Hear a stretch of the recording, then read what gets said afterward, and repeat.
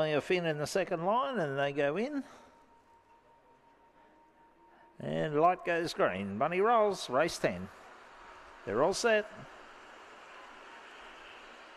Ready, racing. Little right, fairly away, winning the breakout in the centre. There would have been Lamia George driving up. Carinia Gazelle now, little right, trying to punch up and forces its way through and goes to the lead. Getting to second now on the outside, Lamia Finn. Then further back, Mika's Angel, but little right racing clear now in the front. And little right too good. Second will go to Lamia Finn. Third would have been Mika's Angel.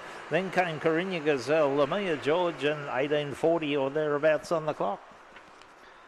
Won the red little right by Whiskey Ride out of Little Cindy for Pam Braddon Cara.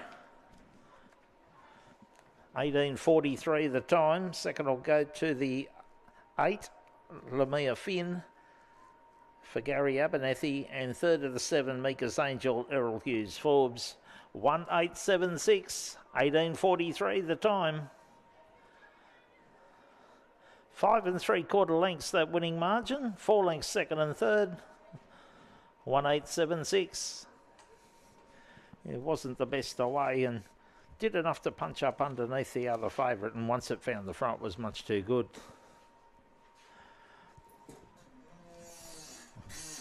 We've got one race to go here, and it's in 14 minutes. Favourite number six, Noah's Girl.